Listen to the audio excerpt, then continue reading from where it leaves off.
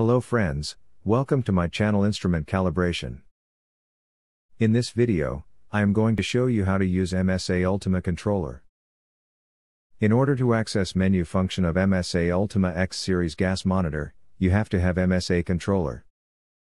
Here, you can see image of MSA Controller.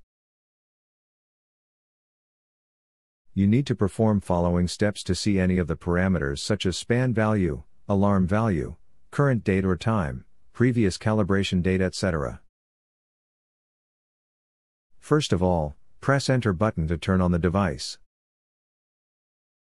Device will turn on, and Ultima X Ready will will display on MSA controller screen. Now, press send button and you can see send with question mark on controller display. After this, press display button and you can see select display item with plus or minus. Now, press cal or plus button to scroll through menu function. When you press cal or plus button one by one, you can see different functions.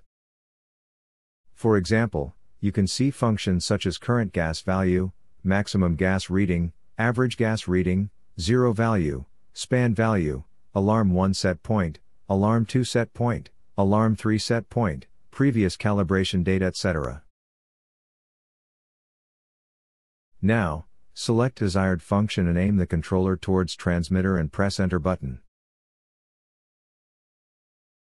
Value of desired function will be displayed on transmitter screen for 3 seconds.